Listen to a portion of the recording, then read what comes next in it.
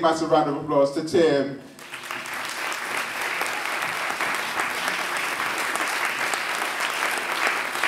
Well, I've never had an introduction like that before. And uh, let me say straight away that I don't know why you're listening to me, because I'm a person with a long history and a short future, whereas you lot have got long futures and short histories. So, what I wanted to do was talk about teacher effect, but before we move on to the next slide, before we do, what? what? I could, no, I couldn't. I'm going to bring you in, Amjad. You're going to be terrific for me. Um, no, um, what, most of us start teaching, and I started teaching in 1961, so I am pretty old. Um, uh, most of us start teaching because we kind of want to make the world a better place, and we think we can make some sort of difference. We probably like our subject and things like that, but we really do want to make a difference.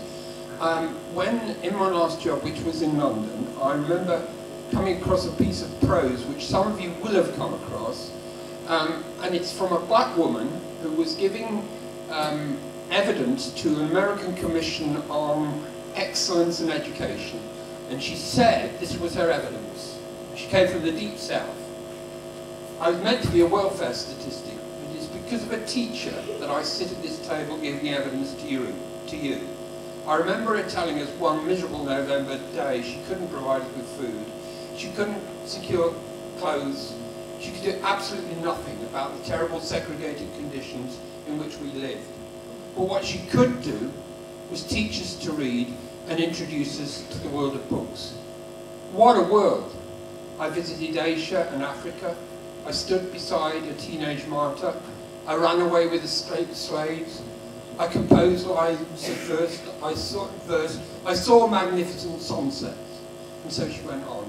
And then she ended by saying, I knew then I wanted to do the same thing. I wanted to be a teacher. I wanted to weave magic. And actually, every one of you do, and you change children's lives. And Amjad, the best description that I've ever had, was from a woman in America. And as you read that, you're going to say, I know you're going to say, these four conditions have to be there. And some of you are already squirming because you've read to the end. Because there's a spelling mistake in it, isn't there? Uh, a terrible spelling mistake.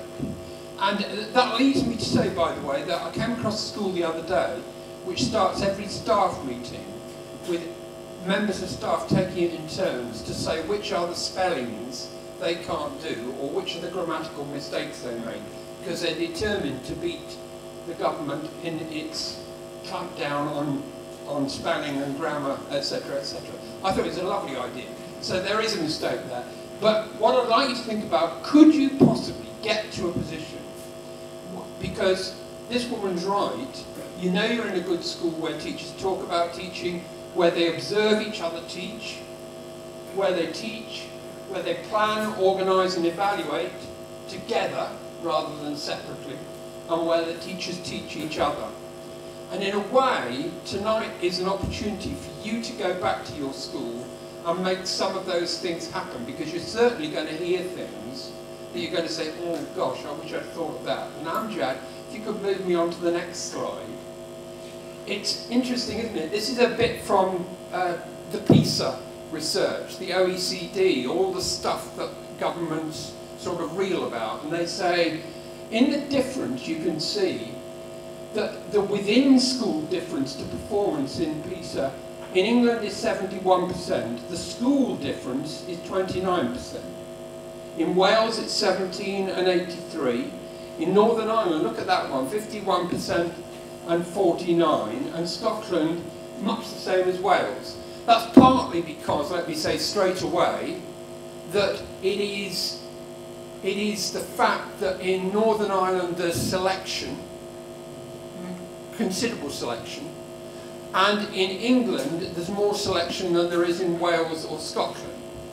But even if you discount for that, it's the teacher difference that makes the real difference to kids' life's chances. And you do it day in, day out. And I'm glad if we could whip on to the next one. the same, a little piece of research out of Hattie suggests that 85% of teachers are resistant to change from what they do at the moment.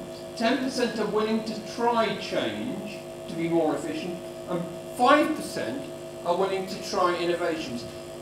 Again, by definition, you are in the 15, not the 85. That's why you're here. And the responsibility on you to affect the 85 is huge.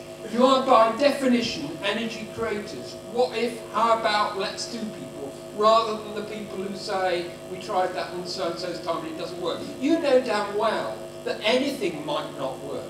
Nine times out of ten it did, and on the tenth unpredictable occasion it didn't, and you wonder why it didn't happen, and it's to do with human interaction. I want to take you on to one tiny extra thing. He said I've got to talk for seven minutes, and I said I only wanted to talk for two. And Jeff, come on, get on with it. Right. I think that in schools, you divide your time into these four territories. Things that are high effort and have high impact. Things that are high effort that have low impact. Things that are low effort and have low impact. And golden things, and you'll learn some of them tonight, that are low effort that have high impact. You'll come across some tonight. You'll think, I'll try that out. It will work. I can extend it. I can make it my own. That's what will make a difference. I have come across schools that have sat down together and decided what are the ones in the second category that are high effort and low impact. And incidentally, if I were really saying have a good new year, I think I'd be looking at feedback and marking and say, could we kind of really share what works in feedback and marking? Because there's no doubt at all, it's high effort. Some of it has high impact, some of it has low impact. What we really want are the ones within marking that have low effort and high impact. And there are some and I'd be grateful if we could look at those. Um, that's my uh, pitch. I've done all I'm going to do. Hope it was all right. And over to Action Jackson. Round of applause